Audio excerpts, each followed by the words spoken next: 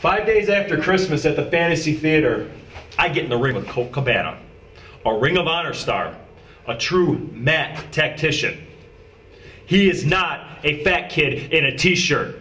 He is somebody that respects the business. He's somebody that takes what we do very seriously. You see, 11 years ago, I remember seeing him in the crowd when I was up in Michigan wrestling the Iron Sheik. Oh, Marconi! You are so boring. If this tree wasn't in between us, I would come over here and put this hat on your head. But it is. And it's not even. 11 years ago, I saw Beast Lou Marconi in the crowd against the Iron Sheik. And I said to myself, he had everything except some charisma.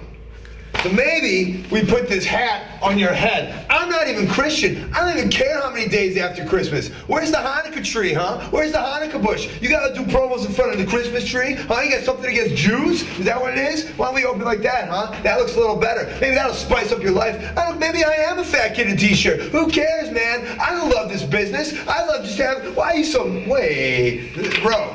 Don't get like if this tree wasn't here, you could probably beat me up. But that's not it. We're gonna be whoa, Marconi. Um, how did I even end up in a promo with you? Like, did you think about that? That's pretty weird. Like we're in the same promo and we're not even. Okay, gotta go. December thirtieth. Let's have a good day. Ooh, okay.